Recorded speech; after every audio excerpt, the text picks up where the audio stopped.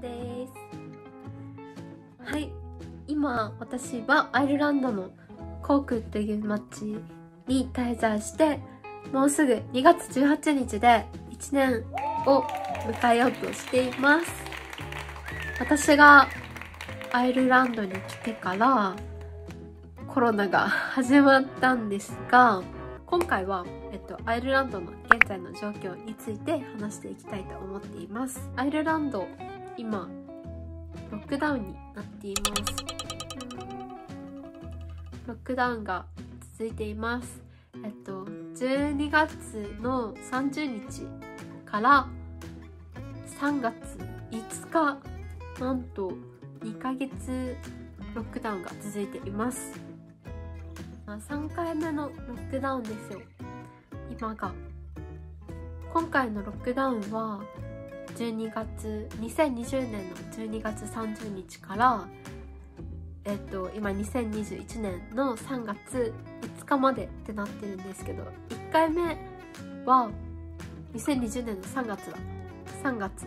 で2回目が2020年の10月から始まったので今回で3回目です。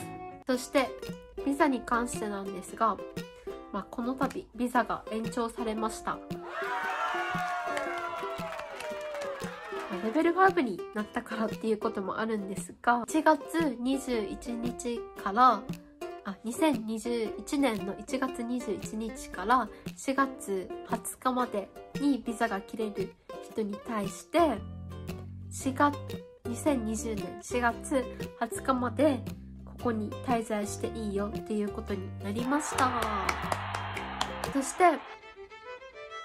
アイルランドの入国する人に対して14日間の隔離の制限が求められています。それをもししなかったら、えっと、罰則で、これがもう犯罪になるらしくて、えっともし隔離を遵守していなかった場合、2500ユーロ、だいたい28万円と、または6ヶ月の禁錮か、それも両方が課せられるっていう感じになっているそうです。だから入国する、アイルランドに入国する方は、絶対14日間えっと、隔離を守ってください。こんな感じかな。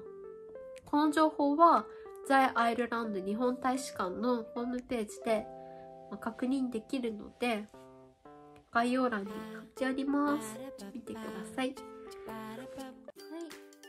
ということで、久しぶりのトークでした。それではまたお会いしましょう。Thank you for watching my YouTube channel and please subscribe me and uh, see you next time guys. Bye bye.